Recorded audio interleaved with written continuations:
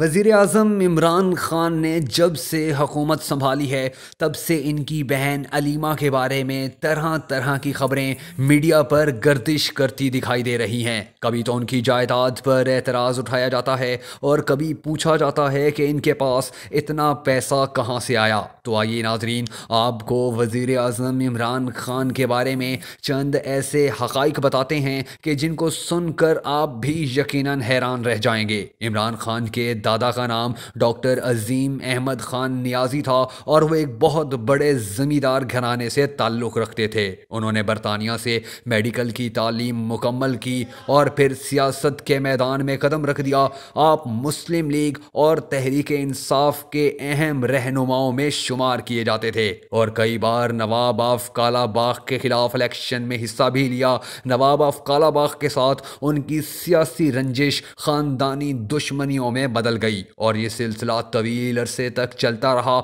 ان کی حویلی اپنے ہی نام یعنی عظیم منزل کے نام سے شرمان محلہ میاں والی میں دس کنال اراضی پر تعمیر شدہ ہے۔ یہ حویلی آج کل عمران خان کے کزن انعام اللہ خان نیازی کو وراثت میں ملی ہوئی ہے۔ ناظرین، عمران خان کے والد اکرام اللہ خان نیازی نے انیس سو چھیالیس میں برطانیہ کے امپیریل کالج لندن سے انجینئرنگ کی تعلیم حاصل کی۔ پی ڈبلیو ڈی میں چیف انجینئر کی پوسٹ پر بھی فائز رہے، جو کہ بائیسویں گریڈ کی پوسٹ تصور کی جاتی ہے۔ جب نواب آف کالا باغ کو مغربی پاکستان کا گورنر بنایا گیا، تو اس نے نیازی خاندان کو سیاسی انتقام کا نشانہ بنانا شروع کر دیا، جس کے خلاف انہوں نے چیف انجینئر کی پوسٹ سے اور عمران خان کے نانا احمد حسن خان نے ضلعی کمشنر کے عہدے سے احتجاجاً استعفیٰ دے دیا۔ اس کے بعد انہوں نے ریپبلک انجینئر انجینئرنگ کارپوریشن کے نام سے ایک انجینئرنگ کنسلٹنسی کی کمپنی بنائی۔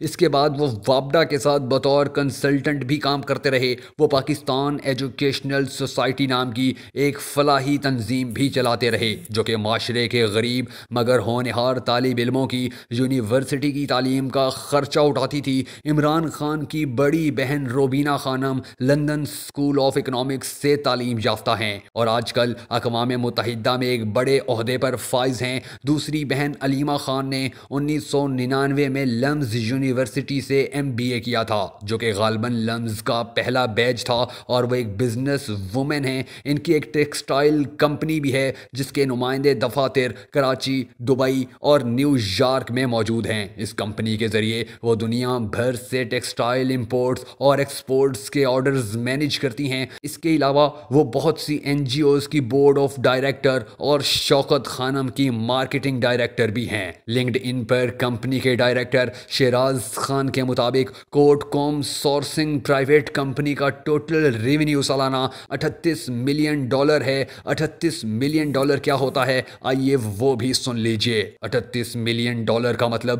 تین اشاریہ آٹھ کروڑ ڈالر ہے۔ اور اگر اس کو روپیوں میں تبدیل کیا جائے تو یہ تقریباً سالانہ پانچ ارب روپے بنتے ہیں۔ ناظرین، ٹاولز اور لینن کی آسٹریلیا میں پندرہ پندرہ فیصد مارکیٹ علیمہ خان کی کمپنی کے پاس ہے، جبکہ علیمہ خان کی کمپنی کا سمبا گلوبل کمپنی سے اشتراک بھی ہے۔ جس کے بعد نیوزی لینڈ اور آسٹریلیا میں دونوں کے اشتراک سے ستر فیصد لینن کی مارکیٹ سمبا گلوبل اور کوٹ کوم کمپنی کے پاس ہے۔ علیمہ خان لمز یونیورسٹی لاہور سے ایم بی اے کی ڈگری بھی حاصل کر چکی ہیں۔ عمران خان کی تیسری بہن عظما خانم لاہور میں ایک کوالیفائڈ سرجن ہیں، جبکہ چوتھی بہن روبینہ خانم یونیورسٹی گریجویٹ ہیں۔ جو لوگ یہ کہتے ہیں کہ نہ ان کا کوئی بڑا بزنس ہے، نہ ان کے باپ دادا کوئی بڑے لوگ تھے، پھر یہ کروڑوں کی جائیدادیں ان کے پاس کہاں سے آ گئیں؟ تو ان کے لیے عرض ہے کہ Imran Khan Aitchison royal grammar school اور آکسفرڈ یونیورسٹی سے پڑھے ہیں۔ کبھی پتہ کرو ان تعلیمی اداروں کی فیسیں کیا ہیں۔